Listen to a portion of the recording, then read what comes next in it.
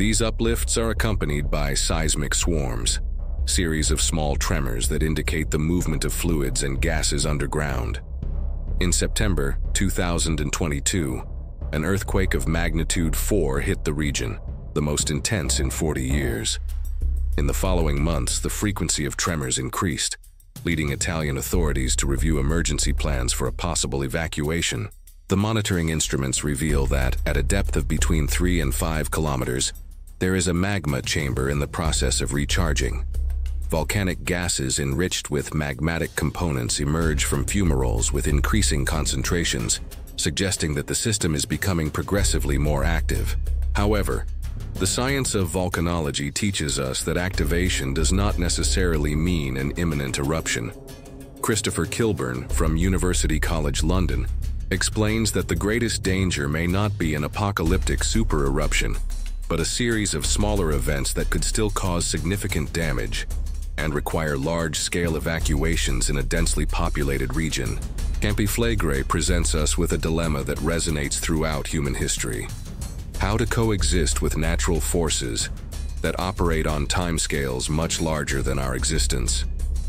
The same region that harbors this potential danger is also an invaluable cultural and historical treasure, where civilizations have flourished for millennia, taking advantage of the fertility of the volcanic lands.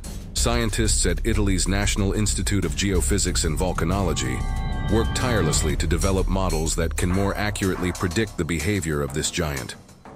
Sensor networks monitor microtremors, ground deformations, and the chemical composition of gases, creating a real-time portrait of what is happening in the depths.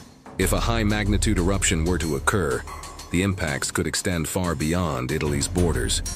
Depending on the volume of material ejected, volcanic ash could disrupt air traffic across much of Europe, aerosols released into the stratosphere could temporarily affect the global climate, causing cooling for months or even years. Naples, a city with over 3 million inhabitants when considering its metropolitan area, would face unprecedented challenges. However, it is important to put this risk into context. The likelihood of a catastrophic supereruption is extremely low on any human timescale. The most probable scenario, should any eruptive activity occur, would be an event of smaller magnitude, still potentially dangerous for nearby communities, but manageable with current emergency protocols. Living with Campi Flegrei is an exercise in humility before the forces of nature. A reminder that, despite all our technological advancements, certain phenomena operate on scales that challenge our everyday perception of time and space. The supervolcano teaches us that our relationship with the planet must encompass not only what we see on the surface, but also the deep dynamics that have shaped our Earth for billions of years. As the giant continues its slow breathing beneath the Mediterranean, scientists, authorities, and ordinary citizens learn to interpret its signals, developing strategies to reduce risks and protect a region of extraordinary natural and cultural richness.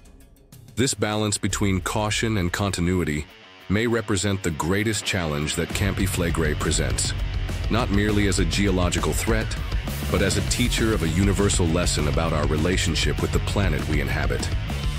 Thanks for watching. See you next time. If you enjoyed the video, don't forget to leave a like.